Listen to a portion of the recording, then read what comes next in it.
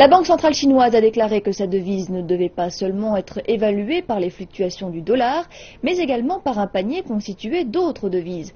Elle a souligné que le yuan restera stable à moyen et à long terme. Le représentant chinois a introduit un nouvel indice du yuan pour mieux présenter sa valeur.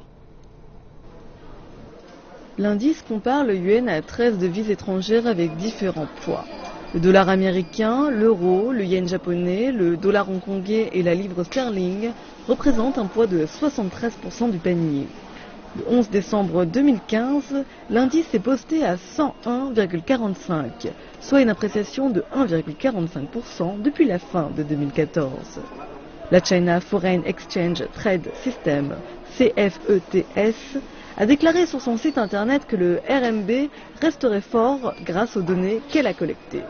L'indice pourrait offrir une réflexion plus complète des hauts et des bas du marché.